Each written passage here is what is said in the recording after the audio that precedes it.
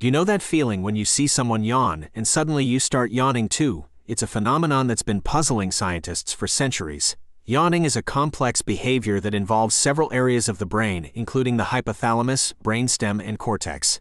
But despite decades of research, we still don't fully understand why we yawn. There are many theories about why we yawn.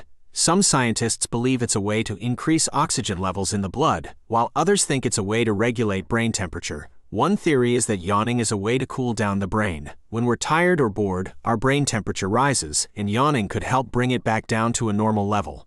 Another theory is that yawning is contagious because it's a way to communicate nonverbally. In social situations, we may yawn when we see others yawning as a way to signal that we're part of the group.